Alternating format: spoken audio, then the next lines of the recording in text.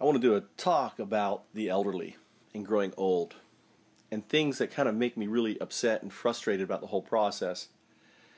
And I have a 91, 91 year old father. And I want to tell you about my dad.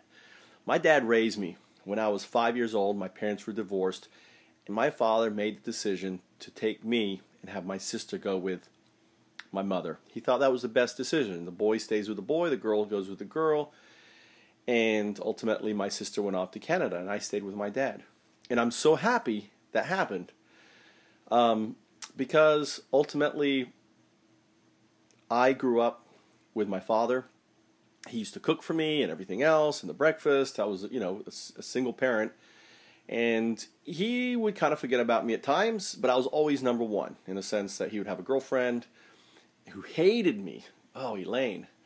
But regardless, I was always number one, and she knew that. And I think that's probably why she hated me. And thank God they never got married.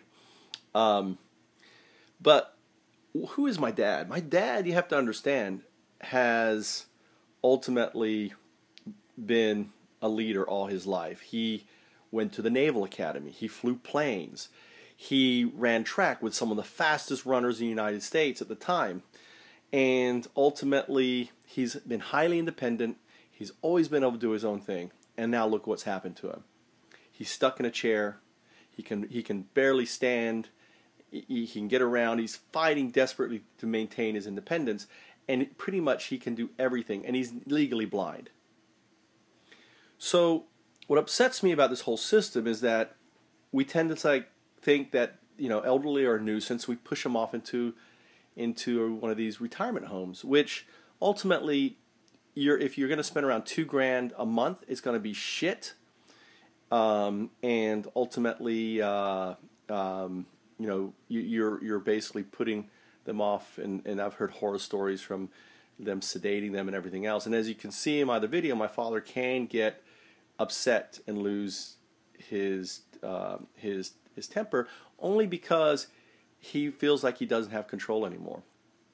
Um, or you can go up and pay three, four, five thousand, or if you want care at your home, seven thousand dollars a month to have someone to come and stay in your house to take care. Imagine what you can buy with seven thousand dollars a month. And it seems like this is what we want to do with our elderly: push them off into a home. Um, and I struggle with that because I have I have two boys, as you probably know. I have a ten year old and a seven year old. I have a wife in Japan, and they're without me, and I'm here taking care of my father because I believe it's my duty to do so. And I'd love for him to come to Japan, but you know, he just doesn't want to do that. This is his home. This is what he knows. He built this house, he's lived here, and he really doesn't want to leave it. And um, he had a really tough time last month with my sister here. It just didn't work out, so she ended up moving to Jacksonville and buying a house and leaving him here. And he feels like she abandoned him for doing that. And you know so i'm now here. I dropped everything to come here. I have a job in japan. As you know i do a lot of different things. But i couldn't for example take a job as teach, teaching because i have one one company i've worked with that i've kind of screwed over two times because i've had to leave to deal with my father.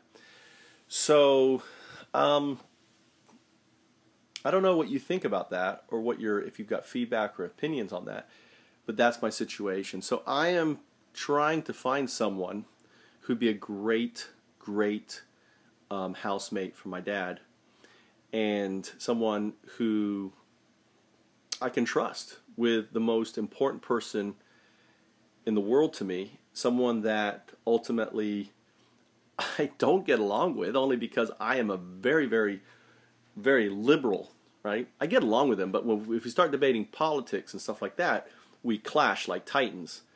And you know, and I've pretty much told him, and he said we shouldn't talk about politics because I'm a I'm Bernie Sanders, and he is Donald Trump, and we see two different worlds when it comes to what's what's there.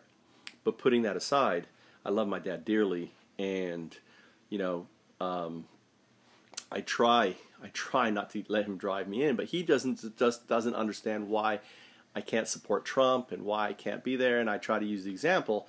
To me, Trump is Adolf Hitler in 1936, right? That is who Trump is to me. and that to me has to be ultimately, you know, um, fought against because ultimately, if we allow someone like Trump to to to take away our civil liberties and everything else, we can risk everything. And I could see him building camps for Muslims and everything else. And it's like, well, they don't, they're not one of us. We're putting them in a camp. So we just don't see eye to eye on politics, um, especially Trump. Anyway, so I just want to make this talk and kind of put a talk that that that juxtaposes the one that I have up, showing my father's, um, you know, manic behavior. And I am looking for someone to move in and be with my dad. So if there's anyone locally that could help out, that'd be great.